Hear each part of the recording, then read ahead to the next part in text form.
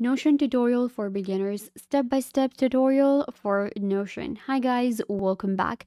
In this tutorial, I'm going to show you how you can get organized and productive with Notion.so. So let's get into it. First of all, what you can do is you have to go to notion.so and you will land on this platform right here. Notion.so is a project management tool that allows you to create your own workspace. You can even use Notion for your personal use and for your studies, your work, you can use Notion for work and studies as well. How to get started with Notion.so? Once you get to the website, you can actually click on Try Notion for free and you will be able to sign up. The signing up process is really easy. All you have to do is just enter your email address right here, or you can also continue with your Google account. Once you do, you will get to the dashboard of Notion. After the initial sign up or sign into your Notion.so, this is where you will get, I have signed into my Notion and this is uh, where I got. On Notion, we can go ahead and create different workspaces. We can have different pages. With Notion, it's like quite similar to working on a digital planner or you are working with a lot of documents in real time. Uh, but with uh, Notion, we are more organized. We will be able to even share our workspace with other team members. We will be able to create notes, tasks, and much more. So, actually, let's get into it. Once you open up Notion, it gives you this panel right here. Inside this panel, we have our search right here. Then we have our update, which will give me my inbox following all in archived. Then we have our settings and members, of course, for our Notion. Then we have our getting started option and in getting started, I will be able to go ahead and create a new page. You have a main dashboard. This is our main dashboard, which we call getting started. And then we have a bunch of different pages created.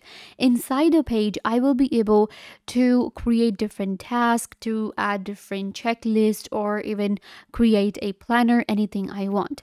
In order to create a new page, you can click on this add a new page option or you can open up any other page that you already have. We can have more than one workspace on our Notion. So you can see this is a workspace that I created and I can go ahead and create another one or we can actually create a separate workspace for our work and a separate workspace for our let's say studies or our personal use so this is a workspace that i have for my personal use and you can see it has a personal home task list general reading list and task and i can also explore different templates Click on the templates and it will allow you to add different types of elements to a page. For example, we have different tasks, we have meetings, documents. When it comes to marketing, we have presentations, brand assets, brainstorm, content calendar, blog editorial calendar.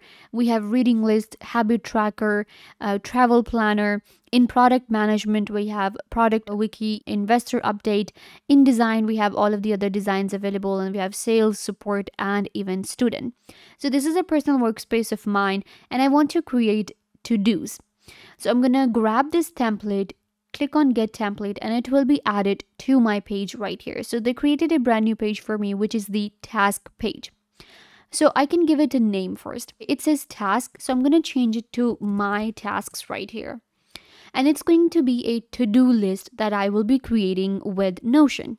And it's very simple. You can see we have a cover. I can add a cover very quickly. Click on add cover and it will be added. You can choose and change a cover very easily. Then we have different views available. We have all. We have a board view available, mine, upcoming, and I can click on this plus button and it will allow me to add more views. So I'm going to go to the all views right here. This is the one that I personally like. So here I can create as many tasks as I like. Click on new and you will be able to give it a name. I'm going to call it task 3. Okay, so we have task 3. I'm going to go with task 4. Click on enter and the task will be created. Now I can click on open and it will open it up right here I can add a status to my task. So we can create different uh, statuses for the task as well. So right now it says not started, but I can say, okay, it's in progress now. Then we have assignees where I will be able to assign it to someone else if I want to. This comes really handy if you are uh, working with a team. How to invite someone or to share a task, you can find the share option right here at the top. We even have favorite option. We have these three dots that allow us to delete a task or even change the style for the task, copy, duplicate, page history, and more. So we have due date as well. Click on due date and you will be able to add a due date to your task that you have added. We can also open up a task in a uh, expanded window and it will give us this view. So I'm going to get back to my tasks right here. We have added a task here. So this is how you can create a task list. Click on new again, you will be able to create a brand new task right here. So we have a journal in Notion. In journal, what I can do is again, add a cover really quickly. Then we have different entries. Click on new and I can add a brand new entry for today. So I'm going to go for today, enter a time and start writing. What I can do is I can create a new empty page and start writing right here. We can even create commands. For example, we want a page, we want a text. So I'm going to go with the text right here and enter, for example, I did some work today. So with notion you're not only getting a project management software but you can you are also getting like your own journal. You are also getting your own to do you know notepad. So that is why notion is actually a great choice for personal use as well as for the work use. Let's say i want to uh, you know create a project page. I'm using notion for work. So you can go with a project template and project page. It allows you to create different projects and it's quite similar. Uh, first what you can do is you can create different statuses such as to do in progress complete where you can create in progress post planning or cancelled when you have different statuses available what you can do is you can create a new task or a new project so i'm going to create a new project by clicking right here and type in a name so this one is known as a project z right? And now I can add more people into it. So I'm going to add myself and another person for this project. And moving on, I can add the dates. Click on add dates and enter a due date for the task that you have created. Similarly, I can actually open it up in this side peek right here and it will give me more options. So we have completion, about this project, we have different tasks and I can now even create a to-do list or task within a project. So let's say I want to create a task quickly within my uh, project right here. So I'm going to give my task a name very quickly. Then I can create a new one as well. Let's say task one.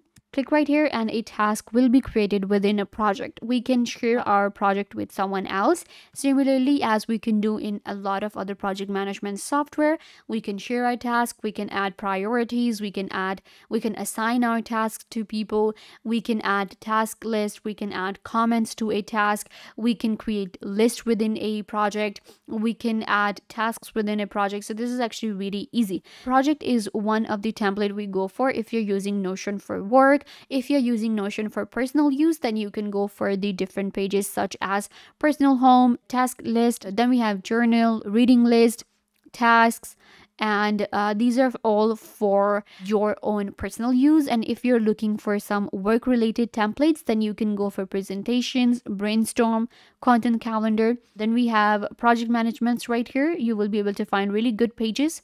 Uh, then we have design engineering human resources all of the different departments. You can create different pages for each of the department and you will be able to manage them better with notion.so this brings us to the end of the video. I hope that I was a big help to you guys and now you know how to use Notion.so for work and personal needs. Don't forget to give this video a big thumbs up, leave a comment down below, turn on bell notification and subscribe to YouTube channel.